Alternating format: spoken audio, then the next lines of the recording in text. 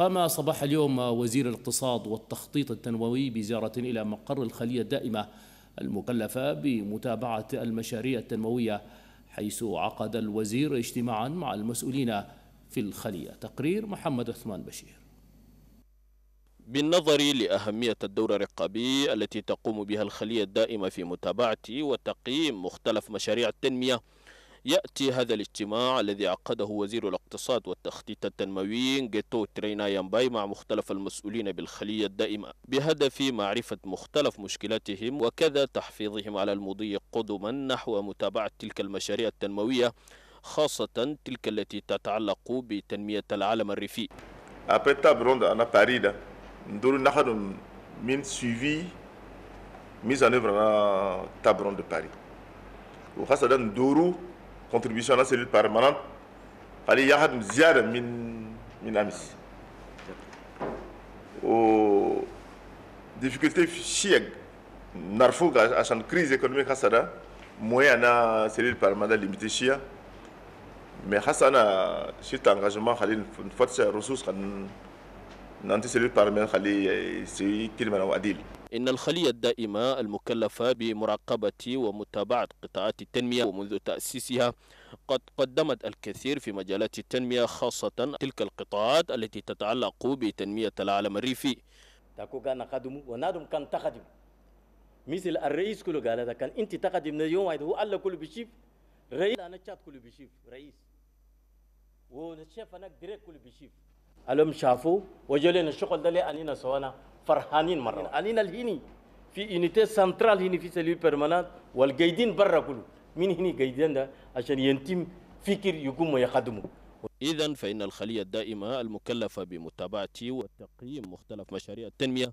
ستعمل على متابعة تنفيذ مختلف تلك المشاريع المندرجة في جدول أعمال الخطة الوطنية للتنمية 2017-2021 شارك وزير البنية وزير البيئة والصيد ووزير المياه في أعمال الاجتماع الخاص بتمويل المشاريع حماية البيئة وذلك خلال أعمال المؤتمر الدولي حول المناخ بألمانيا. تقرير محمد حسن آدم. مواصلة لفعاليات مؤتمر كوب 23 حول المناخ فقد شارك الوفد التشادي في أعمال الاجتماع الخاص بتمويل المشاريع والبرامج التي تعمل في مجال حماية البيئة وأن المناسبة سمحت لمسؤولي الصندوق الخاص لصالح البيئة والسلطات بوزارة البيئة والصيد بدراسة الإجراءات المتعلقة بتسجيل الصندوق الخاص لصالح البيئة في قائمة البرامج والمشاريع القابلة للتنمية التمويل وأن مشاركة الوفد التشادي في مختلف الجلسات الجانبية لفعاليات مؤتمر المناخ سمح بتسجيل غبار بودولو في قائمة الموارد الطبيعية العالمية. كما أشار وزير البيئة والصيد أحمد بودو محمد إلى أهمية هذه البادرة مضيفا بأن مشاركة البلاد في أعمال هذا المؤتمر سيمهد الطريق لتنفيذ العديد من الخطط والاستراتيجيات المتعلقة بحماية البيئة. البيئة. هذا وفي سياق متصل. فقد شارك وزير البيئة والصيد ووزير المياه والنظافة في أعمال اجتماع منظمة الأمم المتحدة حول دراسة أحوال سكان المناطق الساحلية. وفي نهاية المناسبة فقد وقعت اتفاقية شراكة بين السيد حسن توكا ومجموعة شركات فرنسية تعمل في مجال الزراعة وذلك بهدف تعزيز قطاع الزراعة وتنمية العالم الريفي.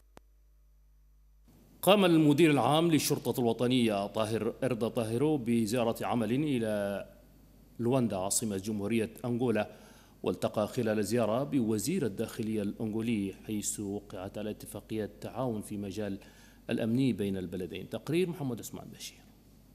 بعد وصوله إلى مدينة لواندا عاصمة جمهورية أنغولا المدير العام للشرطة الوطنية فريق أول طاهر إردا لقي استقبالا حارا من قبل نظيره الأنغولي حيث كان الغرض من هذه الزيارة هو الاستفادة من التعاون المشترك بين البلدين في تعزيز الأمن والاستقرار وتبادل المعلومات الأمنية بين تشاد وأنغولا. طاهر إرداء المدير العام للشرطة الوطنية استغل زيارته هذه وقام بجولات شملت مختلف القطاعات الأمنية للشرطة الأنغولية. حيث شملت تلك القطاعات قطاع شرطة مكافحة الجريمة وشرطة مكافحة الإرهاب والمخدرات. وعقد المدير العام للشرطة الوطنية طاهر إرداء اجتماع عمل مع وزير الداخلية الأنغولي نجيلو فوغا تافاريس توج هذا الاجتماع باتفاقية وقعت بين الجانبين من أجل التعاون الأمني بين البلاد وأنغولا فيما يخص مجمل القضايا الأمنية خاصة مكافحة الجريمة المخدرات الإرهاب. جدير بالإشارة أن هذه الزيارة كانت ناجحة بكل المعايير نتيجة لتلك الجهود التي بذلت من قبل قيادات البلدين فيما يخص موضوعات الأمن والسلام في أرجاء القارة السمراء.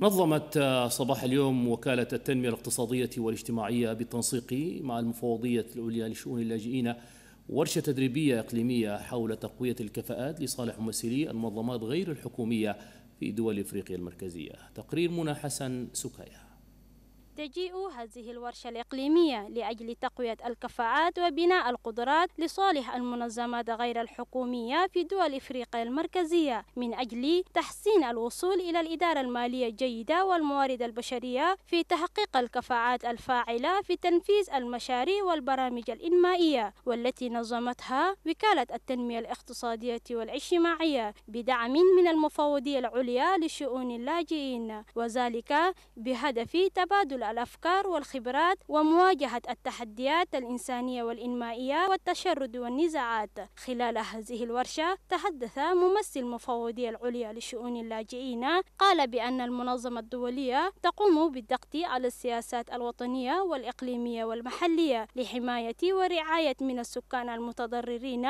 والجهات الفائلة ميدانيا. منسق تحالف منظمات غير الحكومية في دول الإفريقية المركزية عبد الحكيم طاهر حيث تطرق تطرق إلى أهمية هذه الورشة الإقليمية في الوقت الراهن والتي ترمي إلى ترقية المواهب في كافة المجالات الاقتصادية والاجتماعية والفنية. أما الأمين العام بوزارة الاقتصاد والتخطيط التنموي جوكني نور فقد قدم شكره لشركاء البلاد وخصوصا المفوضية العليا والمنظمات غير الحكومية. على دعمهم ووقوفهم الثابت مع البلاد في مواجهة العقبات التي تحول دون الوصول إليها الأهداف التنموية.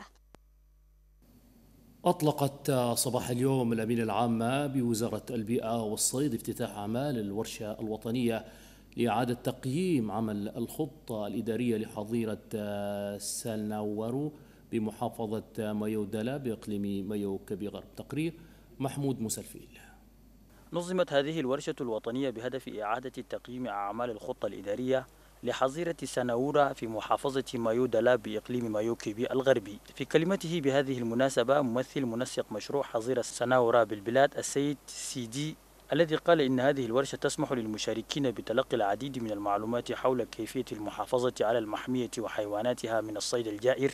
طالبا من جميع المشاركين التركيز التام خلال فعاليات الورشة بغية الخروج بنتائج وتوصيات إيجابية تخدم المصلحة العامة للحظيرة.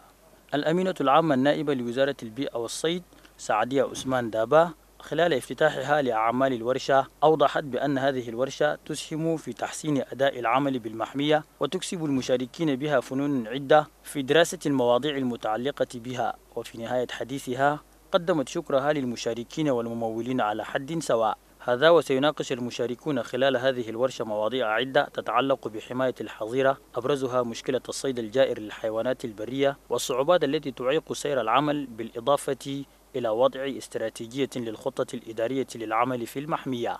يذكر أن حظيرة سناورا أنشئت في العام 2010 بموجب قرار وزاري رقم 11 الصادر بتاريخ العاشر من يونيو من العام 2010 من وزارة البيئة والصيد كمجمع وطني تعيش فيه العديد من الحيوانات البرية وذلك بمبادرة كريمة من سكان المنطقة حفاظا على الحيوانات.